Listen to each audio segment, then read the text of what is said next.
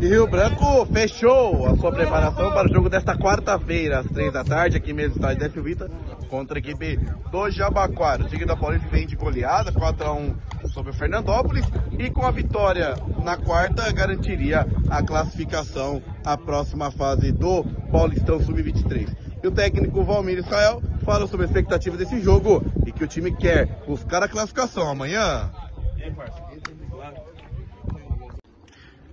Gustavo Tomazelli, Rádio Clube Americana, Valmir, uma semana importante, né? Depois de uma vitória em casa, mais um jogo aqui no Décio Vita, contra o adversário que pelas circunstâncias da competição chega também brigando pela classificação, né? O que falar desse jogo de quarta? Ah, boa tarde, é um jogo importantíssimo para nós, né? Sabemos que, que, vamos encontrar dificuldade, um, adversário que é, basicamente é, vai ganhar três pontos sem jogar, né? Então isso é, já dá uma tranquilidade para eles, né? Para vir tentar, de repente, uh, fazer um jogo por uma bola, mas nós temos que estar preparados, né? Uh, em qualquer dificuldade.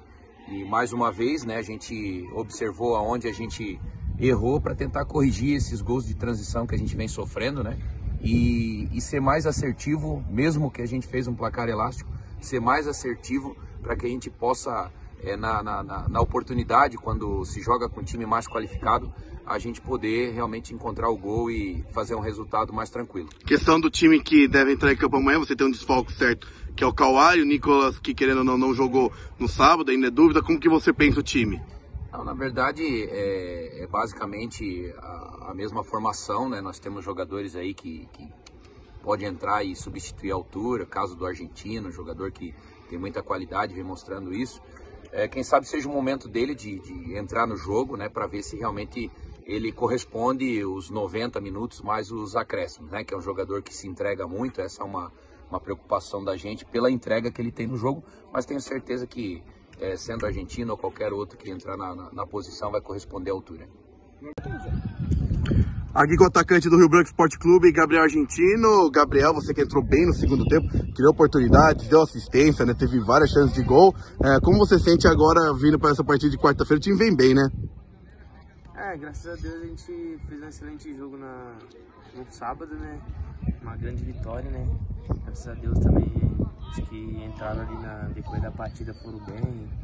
É, já, já tinha jogo anterior já entrando bem. E é isso, né? Trabalho. É, se Deus quiser, amanhã também a gente possa fazer um excelente jogo e garantir a classificação.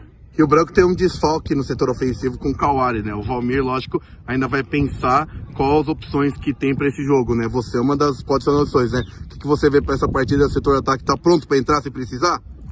Não, sim, assim como eu, como todo mundo também que está entrando e que está indo bem, entendeu? Que o professor optar ali, ali na, na, partida de amanhã, creio que vai dar seu melhor. E se for eu também vou dar meu melhor, meu máximo e E naquele, lembrando, é o jogo do Caieiras, né? Depois daquela vitória, você deu um discurso que, digamos assim, parece que a torcida comprou, né? O time embalou e eu lembro que aquilo, né? Parece que a torcida abraçou seu discurso, né? Que depois daquela partida o time é, caminhou e agora tá indo bem, né? Você sente que aquela partida, aquele seu discurso tudo, ajudou a torcida a vir com vocês? É, como eu falei, né, né, aquele dia, que a torcida nem sempre a gente vai conseguir dar no, nosso melhor, nosso 100%. Vai ter dias que a gente não vai conseguir ganhar, vai ter dias que a gente vai estar num dia ruim, mas a gente nunca vai deixar de correr pelo Rio Branco, pela camisa pesada que é. E graças a Deus a torcida tá nos apoiando, tá nos ajudando cantando, assim como nós tomamos o gol, agora o primeiro gol, a torcida não parou de cantar. Isso que é o importante pra gente, porque motiva a gente pra caramba ali dentro de campo, entendeu? E graças a Deus está dando certo.